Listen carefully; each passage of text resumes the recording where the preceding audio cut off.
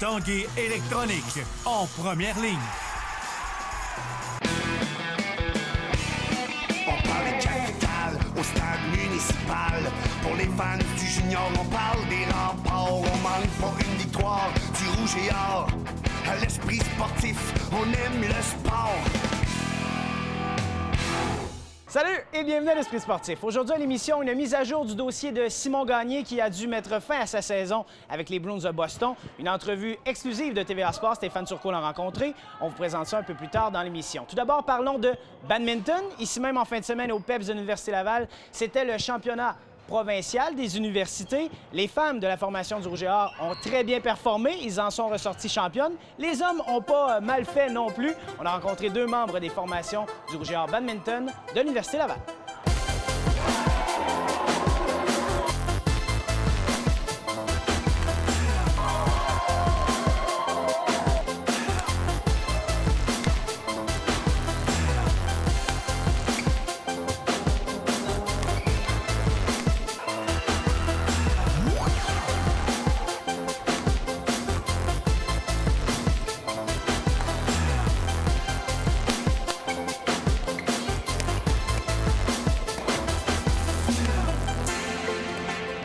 Formation féminine de badminton du Rouge et a remporté avec brio un second titre provincial universitaire consécutif samedi au PEPS. Les Lavalloises ont remporté la finale face aux Carabins par une marque de 3 à 0. La formation féminine n'aura pas connu la défaite cette saison. Évidemment, on était très confiants. C'est sûr qu'il y a beaucoup de pression aussi parce qu'on n'avait pas gagné. euh, en fait, on a gagné euh, toute l'année. Puis euh, non, on a été très bonne, euh, très bien travaillé. Ben Steph, depuis qu'elle était avec nous, elle a toujours joué à ce niveau-là. C'est ça qui est, rassurant avec Steph. Puis c'est une grande qualité qu'elle a, c'est que c'est pas des montagnes russes. C'est toujours un, très haut niveau de jeu, très constant.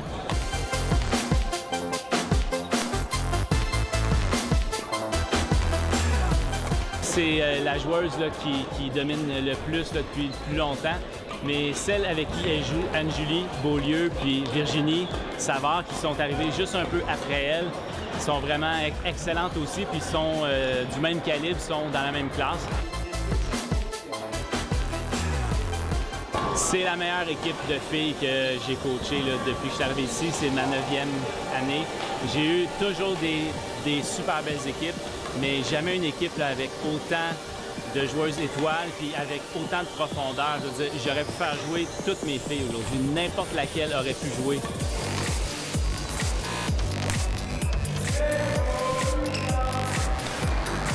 Ben, c'est sûr que c'est flatteur qu'ils nous disent ça. Puis euh, je pense que c'est quand même vrai qu'on a une très bonne équipe cette année, un bel esprit sportif. Puis euh, on a très bien exécuté, on a vraiment travaillé fort, puis on a été persévérants. ouais.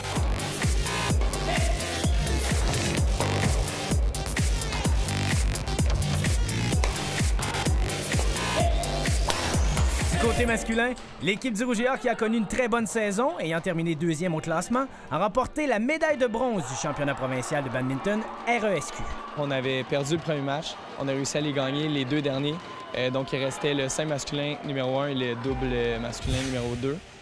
Euh, le 5 masculin, c'était moi qui le jouais. Je rencontrais Philippe Gaumont, euh, qui, est, qui fait partie des meilleurs au Québec depuis les 5-6 dernières années, je dirais, en 5 masculin. Euh, donc, ça faisait plusieurs fois que je le rencontrais. Euh, puis malgré le fait que j'ai été capable de jouer une bonne rencontre, ça tournait vraiment serré. Euh, j'ai dû m'avouer vaincu à la fin, donc par le score de 21-19 au troisième set.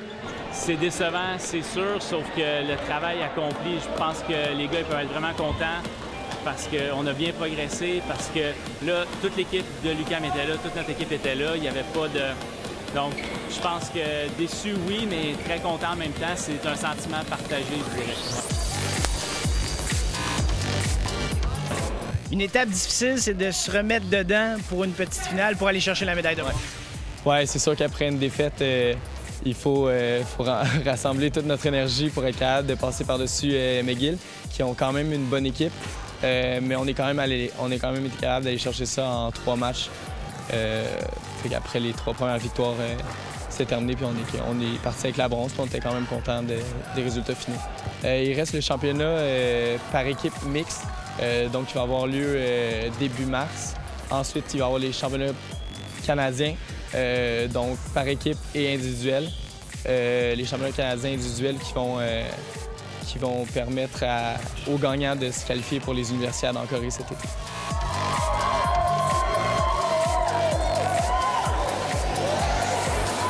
On va souhaiter de bonnes performances aux deux formations du Rouge et Or Badminton qui performeront d'ici deux semaines pour les championnats provinciaux par équipe mixte et individuelle. Maintenant, Pierre Lacroix, ancien directeur général des Nordiques de Québec, était de passage au tournoi Pee-Wee en fin de semaine avec son fils et son petit-fils. Les détails avec Jean-Michel Bourque.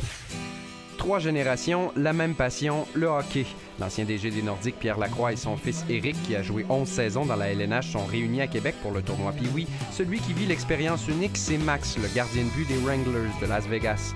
I mean, the atmosphere completely different from Vegas. You know, I where I've never done this before, so it's going to be awesome. Le fait que mon, mon fils est l'entraîneur et que mon petit-fils joue, moi j'ai eu le privilège, la chance de jouer dans le premier en 1960. Donc euh, on a un, bon esprit de famille dans le moment. On est très content d'être là. La famille Lacroix vit dans le Nevada depuis près de deux ans. Selon Eric, la capitale du divertissement pourrait très bien accueillir une franchise de la LNH. Moi, je pense que oui. Moi, je, moi, je suis résident là-bas. Euh, je ne comparerais pas ça à Québec. Puis euh, c'est complètement différent de d'autres marchés qui n'ont pas marché aux, États-Unis. Mais moi, en tant que résident, je vois aucun problème avec ça. C'est quelque chose qui va être le fun parce que ça va rassembler la population. Ils vendent à peu près tout à Las Vegas. Et euh, j'ai l'impression que si euh, ils ont la chance d'avoir une équipe et d'être un comme ailleurs, faut faut gagner. Il y a quelques jours, des promoteurs ont lancé une vente de billets de saison fictive à Las Vegas pour sonder l'intérêt de la population pour le hockey professionnel. 5000 billets ont déjà trouvé preneur sur un objectif de 10 000.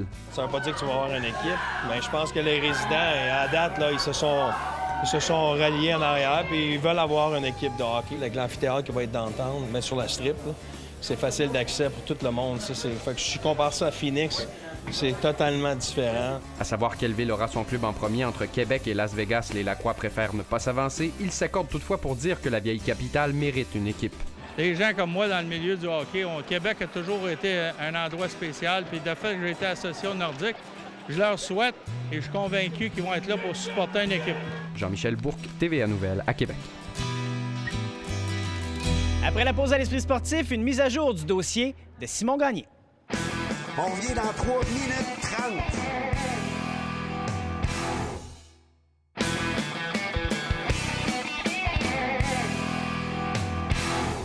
Tout dernièrement, Simon Gagné a dû mettre face à saison avec les Bruins de Boston dans la Ligue nationale de hockey. Il a accordé une entrevue exclusive à TVA Sports. Stéphane Turcot a rencontré l'athlète de Québec dans sa maison du Lac-Beauport.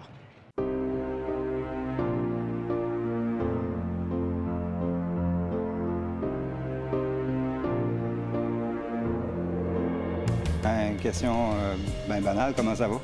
Ça va mieux. Euh, je te dirais que le, temps arrange les choses, comme qu'on dit. Euh, tranquillement, pas vite, on embarque dans la routine de, revenir à Québec. on est installé. fait que, non, tranquillement, pas vite, les choses se replacent, puis on, commence à revivre notre vie qu'on vivait avant. Tu regardes pas ta décision là, de dire OK, c'est correct, c'est terminé? Non, du tout, du tout. c'est sûr, je ne te mentirais pas. les, les nuits suivantes, euh, j'ai peut-être mal dormi un petit peu. Je ne suis pas certain d'avoir pris la bonne décision, même si je savais là, euh, que c'était probablement la, meilleure décision. Mais euh, là, je regarde avec du recul, puis avec tout ça, tout, ensemble fait que, je pense que j'ai pris la meilleure décision pour moi, pour la famille, puis, pour mon futur aussi. Pourquoi c'est la meilleure décision? Pour cette année, tout le monde? Bien, c'est sûr, là, on sait pas ce qui va se passer avec le futur, mais euh, écoute, je, suis rendu à 35 ans, les enfants, l'école. Euh, c'est certain que la, une décision, la décision euh, qui a fait pencher beaucoup, c'est la mort de mon père. disons que ça me a pris tout le monde par surprise. Puis de mon côté, ça a été difficile mentalement.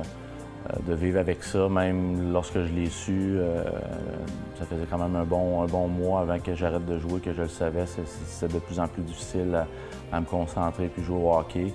Euh, par la suite, pas savoir qu'est-ce qui allait se passer, puis qui est parti si vite que ça. Même j'ai eu la chance de passer les, les 20 derniers jours avec lui.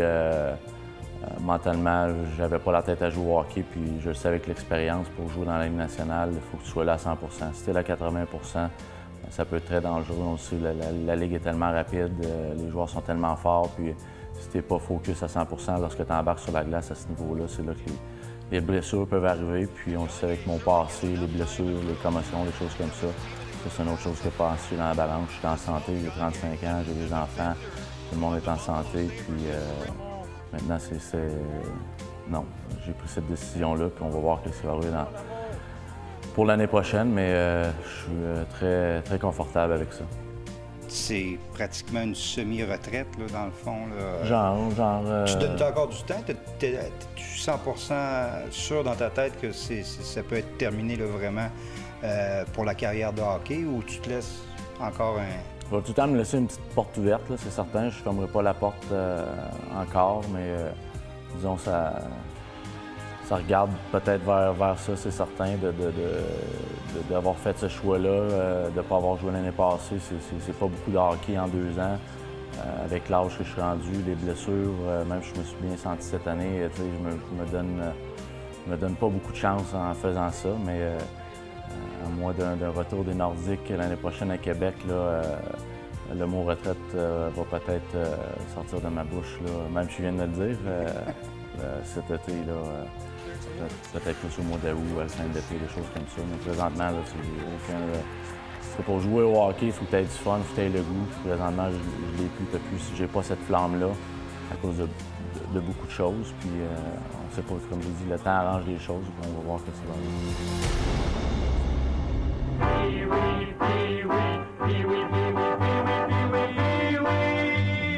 Les matchs à surveiller pour la journée de mardi 17 février apparaissent à l'écran. Pour la première fin de semaine d'action de la 56e édition du tournoi international de hockey Pee-Wee de Québec, plusieurs fils d'anciens joueurs de la Ligue nationale étaient en action. Les garçons de Valérie Buré, Chris Pronger, Shane Doan, Alexei Kovalev, Éric Lacroix, ainsi que le fils de notre collègue Dave Morissette sont passés sur la glace du Colisée. Soulignons également la présence du père de Wayne Gretzky, Walter Gretzky, qui accompagne une équipe de Brentford.